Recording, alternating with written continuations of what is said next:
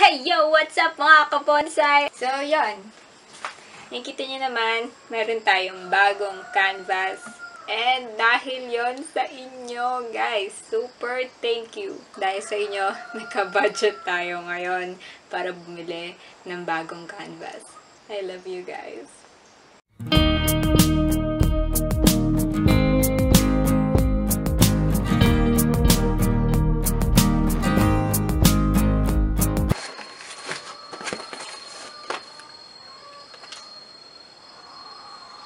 Oh my. Ang dami kong sunflowers na pipinturahan ngayon.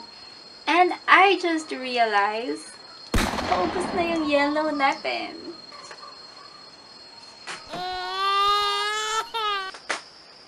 We are gonna ask for the help of water para pahabain ang buhay ng yellow natin.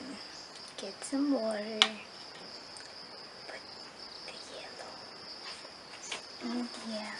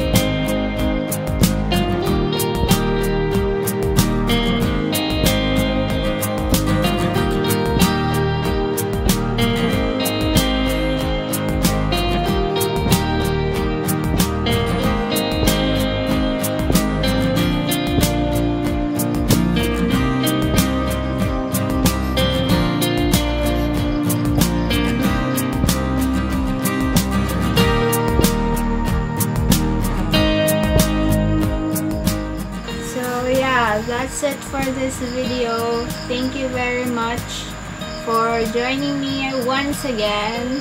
See you soon mga kabonsai!